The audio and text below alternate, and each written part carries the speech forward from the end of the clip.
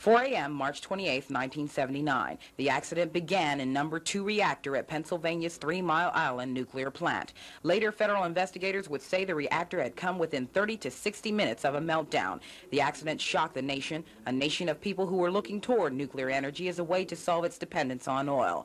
Renee and Robert Yurchek lived near TMI four years ago. And reflecting back, Renee recalled a feeling of helplessness. It, it, it was just so frightening for, you know, five days, 20 years, who knows. But for that period of time, I just felt like I, I had no control over any of it. There was nothing I could do.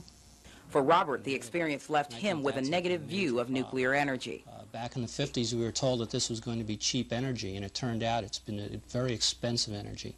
And so I'm not a great proponent of, of nuclear power plants at all.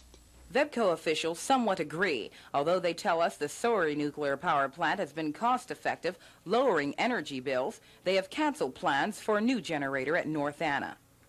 We found that regulation alone would tack on an additional $1 billion. Totally uh, unrealistic, not a viable option. So as far as we're concerned, uh, there is no future at, uh, under the present conditions for nuclear power in our planning.